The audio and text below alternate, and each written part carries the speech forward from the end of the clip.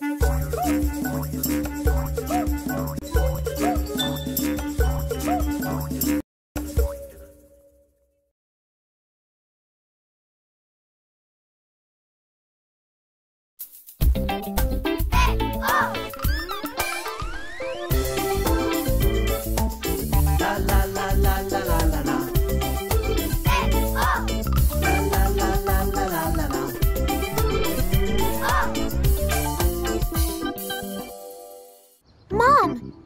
And Lucille need our help to prepare the New Year celebration at the community center. Can we go now?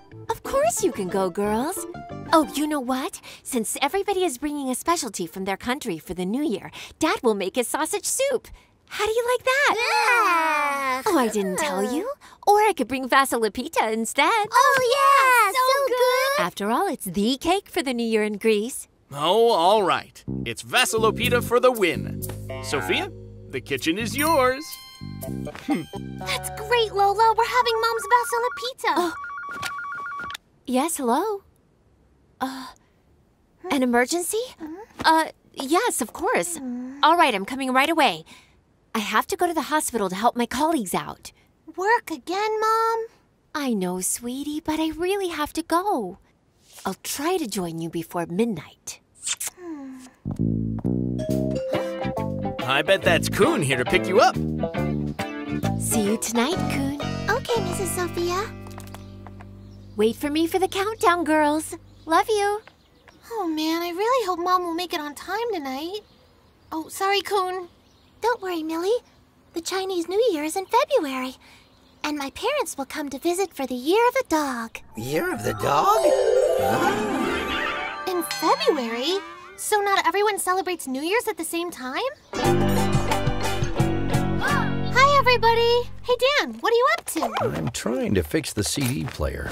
Pass me the wrench, will you? Thank you, Mily.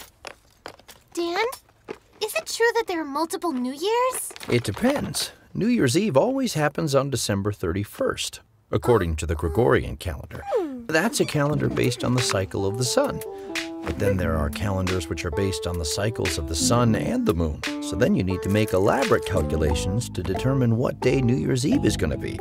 In my family, we call New Year's Eve Rosh Hashanah, and we'll celebrate it on September 10th. What's the date for you, Hamid? For us, the Muslim New Year is just two days later on the 12th of September. Well, for us, it's much earlier. The Chinese New Year is often in February. Well then, I'll go and tell the sun and the moon to just come to an agreement about the calendar business. There are so many different dates. Did you know that each culture has a different calendar? For example, Judaism appeared a very long time ago. And if we're following the Jewish calendar, we wouldn't be welcoming the year 2019, but rather 5779. The Muslim calendar starts with the Hegira, and to us, the year 2019 is actually the year 1440. Hmm. Have a honey cookie, and may the coming year be sweet. Yay! Hey, Mily, it's Juliet. She says it's important. What? You can't come if you don't have your socks? Without my socks, I can't celebrate the new year. I've got to go look for them. Later. Juliet is really weird. Do you know this tradition about socks for New Year's Eve? You know, there are some strange customs out there. In Japan, my dad and I, we would clean our entire house for the new year. It's a rite of purification to get a fresh start. The new year is like a sort of rebirth. Look, these are our little good luck envelopes. We'll put greetings in them and pass them around. Oh, yeah. This reminds me of my grandma's greeting cards with the good luck ladybug. In Spain, me and all my cousins eat 12 grams of grapes when midnight strikes for good luck. And it's that way all around the world. There are thousands of good luck traditions to start the new year. Oh, yeah? Uh, do they really work? No, they're more like small superstitions, rituals we follow in the hopes of attracting happiness, as if by magic. Hey, maybe Mom is here. Hello! We brought some mistletoe. It's a Celtic custom. My English grandmother would always bring mistletoe. She said that thanks to the mistletoe, we would get everything we needed for the new year. And we kissed under it. Yeah. Mily, telephone. I think it's about socks again. Juliet, what? Still looking for your sock? But you gotta come. Everybody's here. Hmm, Okay, then thanks anyway. Hiya.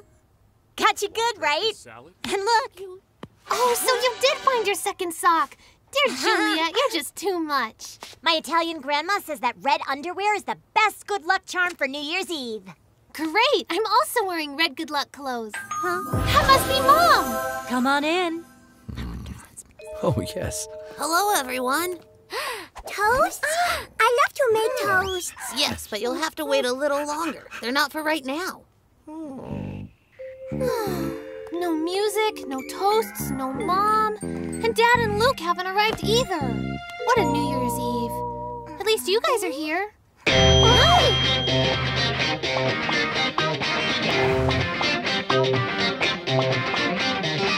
The music problem has been solved. And hey, look who's here. Tonight is totally going down. I'm ready, Dan. Hi, girls.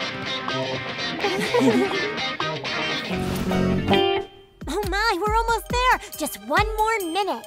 It's almost midnight and Mom's still missing. Here I am. It's Mom! Yay! Watch out, girls.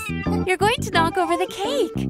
Five, four, Three, two, one. Happy New Year, Happy New Year, kids. This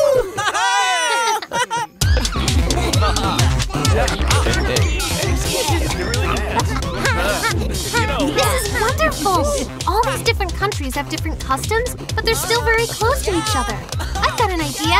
This year, it would be nice to also celebrate Kuhn's New Year, then Hamid's, Yasmina's, and Dan's. That's a great idea, Mily. How about you? Do all your friends celebrate the same New Year?